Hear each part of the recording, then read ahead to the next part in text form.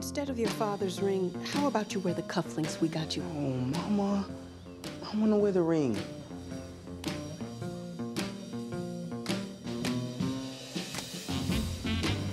We have a really good life in Chicago, but they have a different set of rules down in Mississippi. You have to be extra careful. I know.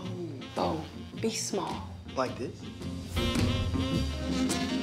He's just going to see his cousins. Not a bad thing for him to know where he come from.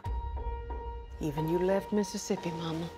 I don't want him seeing himself the way those people are seen down there.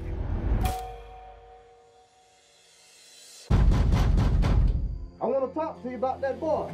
They've come for you. Hello? A breaking news story the body of Emmett Till has been found dead. Why did they take my jail from me? I need to prepare you. Can you bring Emmett's black suit? It's how he'd like to be seen. Bo's in no kind of shape to be seen by anyone. He's in just the right shape.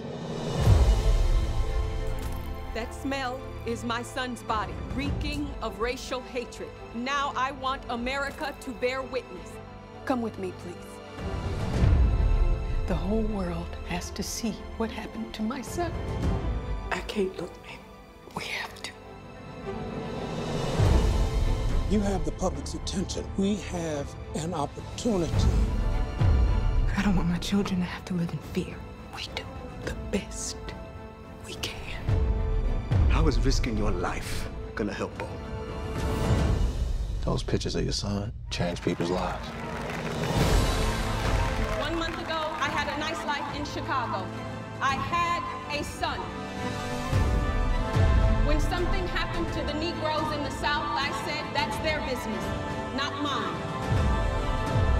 Now I know what happens to any of us, anywhere in the world, had better be